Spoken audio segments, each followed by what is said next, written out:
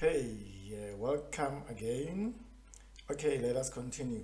Now, in this new topic, the previous topic we learned how to create sections and create learn how to add pages.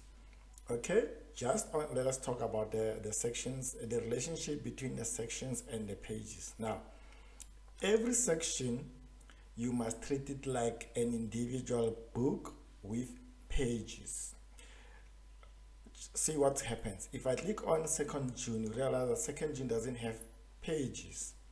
If I go to 3rd June, doesn't have pages. But if I go to 1st of June, you got pages. Now, every section treated like a, a complete notebook. So every section is a notebook, and then every section will have its own pages. So you can have pages, you can add pages on on uh, section 2 can add pages on section uh, 3 or 3rd of June. Okay, let us pass on that one. And then uh, now on this topic, you learn how to use the menu on the, uh, the, the uh, how to use the menu or how to respond to what is required from you from the question paper. There are a few things that you're gonna want you to do and they are basic things for example, uh, they will say, uh, but in page, okay, uh, sorry about that phone. Uh, I forgot to put it on silence. Uh, sorry about that. Okay, let us continue. Now on this new one, you, you continue now to answer the question paper. The main thing for you is to learn how to use the menu and also to learn how to print, how to print a note, which is important. And then also how to retrieve, because if they say they've loaded a OneNote uh, file for you, you know you need to know where to find it. Let us start there.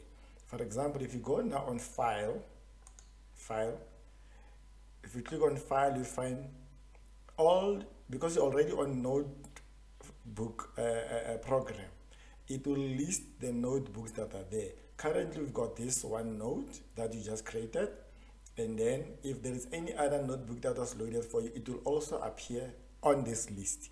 If it doesn't appear you ask the invigilator to help you with the file and then so that you can open it. But it should be on this list here.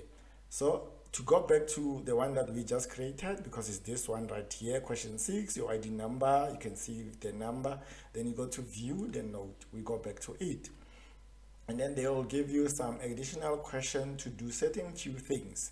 For example they may ask you on section one which is book one which has got a couple of pages maybe question six another page is called question six or whatever. They may ask you to do certain things. For example they may want you to use the drawing pen. Like if i go to draw and they say draw cp and 6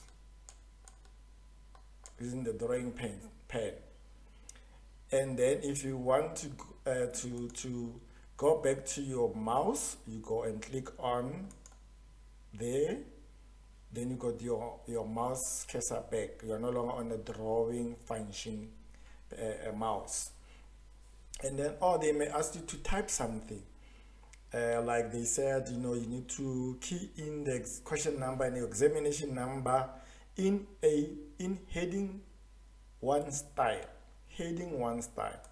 If you go to home, you find there is heading one style and they say mark it as important. They say mark it as important. So it's heading one style, mark it as important. So I'm going to undo this and then remember they said you must type. So you're going to type what? Question number. Let's say it's question question uh, question six and then your examination number and they said you must align it left. So you go to the alignments. Alignments are on basic texts here. Got alignments go to align right and then you click on important So you need to know where to find these things. The alignments are there. Under home, got heading styles and you got alignments. Then you got to do and you got important, you got question. They can ask you anything. So so just understand where to find all these things. Like the drawing, find it here. You can draw anywhere. After you draw, maybe they said you must mark it as mark it as uh, to do. You mark it as to do. It, it, it gives you a check mark box. Realize I, I click on to do and it, it gives me a check mark box.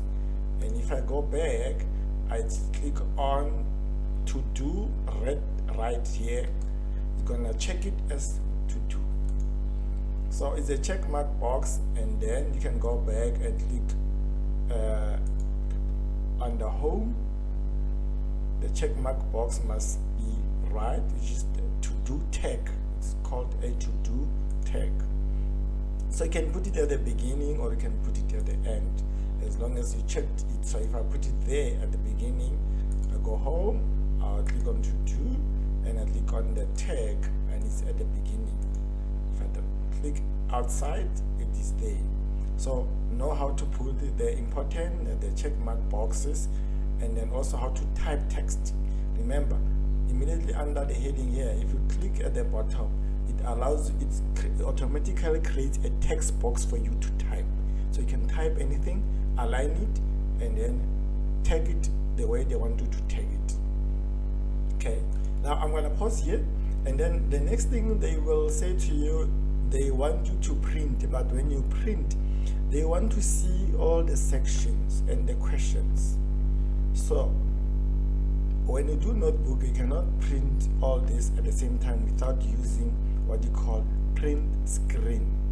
So you're gonna go on your computer and you're gonna on your keyboard there is PRT-SC or if your keyboard is bigger and it's got it's written in full it's gonna say print screen.